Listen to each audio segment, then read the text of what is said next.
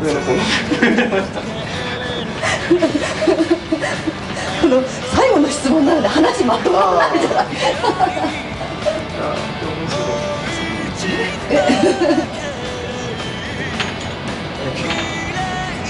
家にあれ買ってんのかああいえアリアリがテクテクとえ目標えっと個人的なことなんですけどドラムスになります。